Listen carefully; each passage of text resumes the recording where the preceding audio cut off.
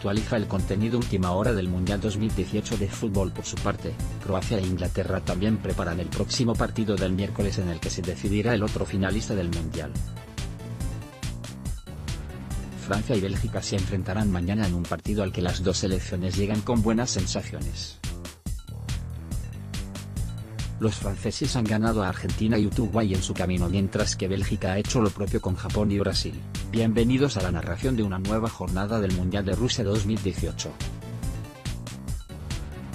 Hoy es día de descanso para las selecciones que quedan en esta Copa del Mundo y que ya preparan las semifinales de los próximos días. Previa del Mundial de Rusia 2018, semifinales de la Copa del Mundo El Mundial Rusia 2018 sigue en pausa y seguimos a la espera de que comiencen las semifinales de este certamen.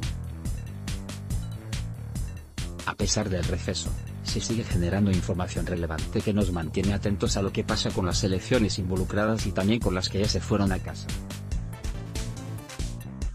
Entre las que se mantienen en juego está Croacia, quien ayer tuvo un percance donde Vida fue advertido sobre sus festejos con tono político que tuvo al finalizar el partido de cuartos de final cuando ganaron contra Rusia. El defensa expresó su apoyo a Ucrania, un gesto utilizado por los nacionalistas antirrusos, por lo que la FIFA tomó cartas en el asunto. Por otro lado, Inglaterra se prepara con Harry Kane y busca hacer historia en una semifinal donde buscará tener a un juego la alzada Copa del Mundo. En otro sentido, el equipo de Bélgica toma vuelo para su enfrentamiento contra la joven Francia, quien ya los espera para jugar el pase histórico a la final.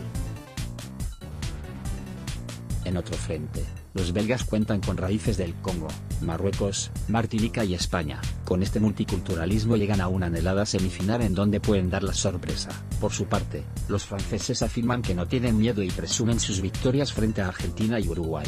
Sin duda partido donde demostraron su poder ofensivo.